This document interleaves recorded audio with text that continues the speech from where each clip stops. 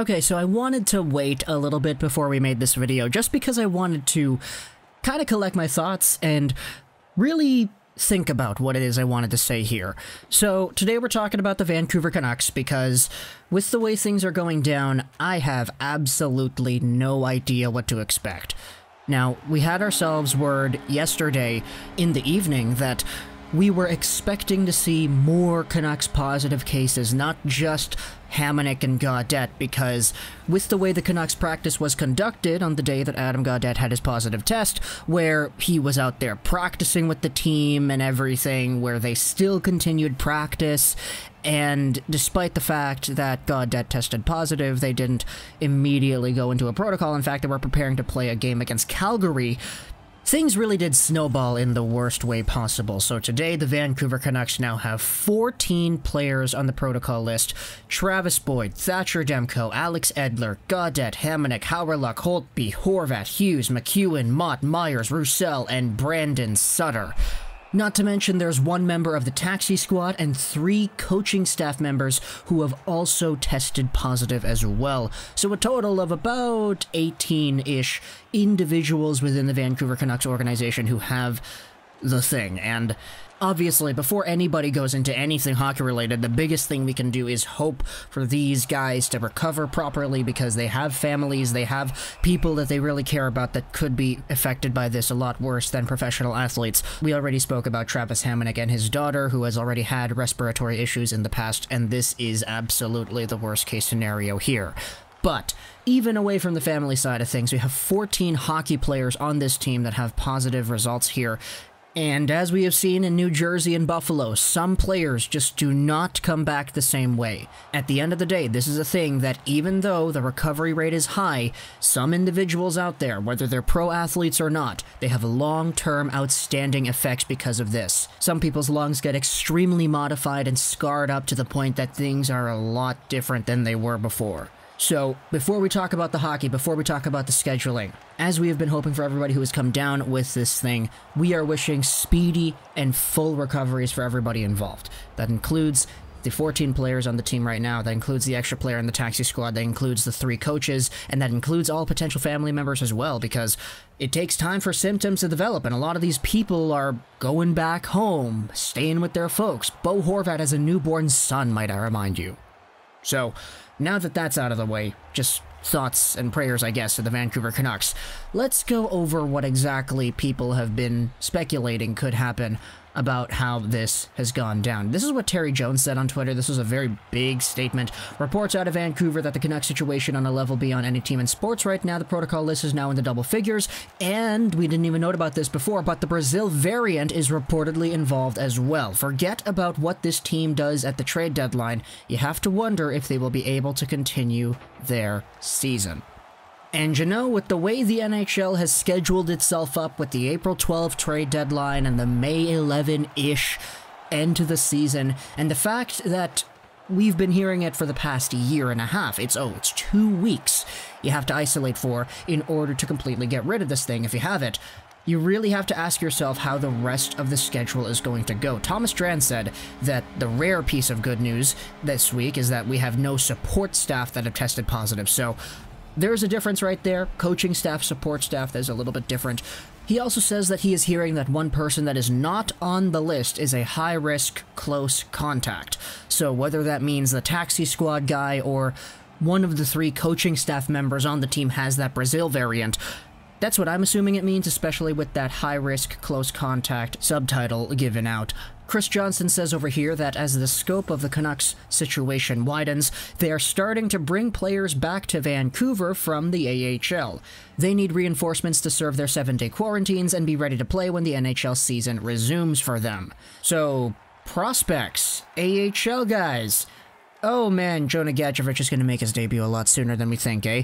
That's kind of joking around, but we'll see how exactly that goes down and who exactly gets called up from Utica to play in the Vancouver system when those games start coming back up. I'm really honestly kind of intrigued, but we'll see what happens later on, I guess. Here's probably the biggest piece of news. It's from Pierre LeBrun. This is what he tweeted out. Via sources, here is the latest on the Canucks outbreak. Again, hockey is secondary. There are players and coaches affected, and that list is likely to grow, he says. The arrow is pointing rightwards and then curving downwards. This right here is the big update. The NHL is now proceeding on the assumption that the essential entire Canucks team will likely test positive. That's built into the league's planning moving forward, similar to what happened in Dallas. There is a variant of the virus that the NHL has not seen before and is experiencing for the first time.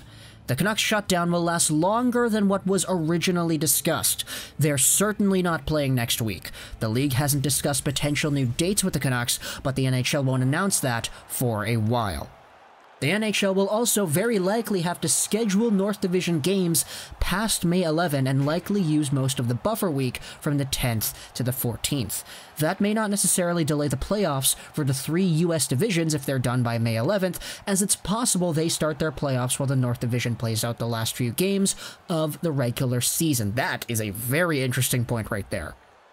The NHL currently doesn't see using points percentage to wrap up the year, as they are still confident that all 56 games will be scheduled and played, with the possibility that perhaps maybe the NHL will decide one or two games don't have to be played at the end if those games are meaningless. So, for the Canucks, Assuming this might be true, hey, if the Vancouver Canucks start all of a sudden really sucking when they come back, let's say everybody, even though they're all free of the virus, are still kind of in that lackadaisical, kind of lethargic state from being in the virus's grasps. If the Canucks play really poorly afterwards, which I don't doubt is a possibility, we saw it with some players in Buffalo, some players in New Jersey, also with the Toronto Raptors of all people as well, that Sometimes pro athletes just don't recover properly. If we have ourselves a season where the games at the end are meaningless, they're already eliminated, the NHL might just can those games. And, you know, if it gives a lot of our guys some more time to rest and a lot more time to recuperate, hey, the league's got to do what the league's got to do. And before we end this video off, I just wanted to say nobody in the comments go down there and start blaming anybody, blaming one player, blaming a guy. The Gaudettes did an interview with Patrick Johnston of the province, and they were told by the BC health officials that what they were doing, going to the grocery store, socially distancing, and all that, was okay. They were doing the right thing. It's just they got unlucky. And for the rest of the team, it's really not surprising to see how it spread quickly, especially considering the fact that Gaudette tested positive on the day that he was practicing with the team. And with all the positive cases coming out within the past few days, I don't know how likely it is that they all got it strictly from that practice, but you gotta remember, sometimes these symptoms take a while to show up, so I'm not saying I'm a doctor or anything, but the possibility that they might have just contracted it before the practice might exist as well, so I'm not really too sure what to think on that. You gotta remember, the Canucks were playing Montreal, and Montreal had some positive cases, or at least two players in Kotkaniemi and Armia who had to go into protocols after that series, so who knows what could have gone down? The worst thing we can do and the most unproductive thing we can do is play the blaming game because saying, oh, these guys were out partying, these guys were doing this, doing that. No, they really weren't. I mean, Bo Horvat was at Best Buy trying to get a home speaker set, yes. Quinn Hughes and Elias Pettersson, Pettersson's not even positive, by the way, were scootering around town, yes. And as noted in the interview, the Gaudettes were just mostly going to the grocery store, so it's unlucky.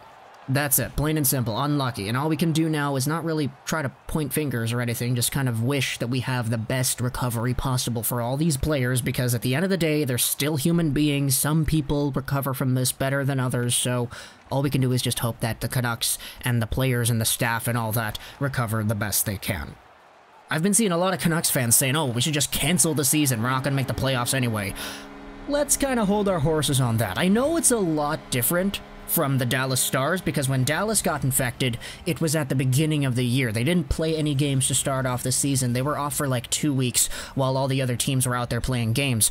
It's different here because it's at the end of the year and because the NHL has a super tight playoff schedule that they want to maintain and they want to have the draft and they want to have the next season starting up in October, they want to make things go back to normal for 2021 2022, and a team getting infected at the end of the 2021 season is going to change that drastically. That remains to be seen. We'll see how exactly that goes down. So for the Canucks, I mean, they're not in the playoff spot right now, but they actually did move up in the standings. Remember how they were tied with Calgary in terms of wins, losses, games played, and points the other day? Well, Calgary lost in regulation yesterday, so Vancouver got the move up in the standings. So there's a silver lining, I guess, to all this, but yeah, still sucks, doesn't it? Talk to me in the comments what you think. I hope you enjoyed this video. Ash Rolls 99. And Bye.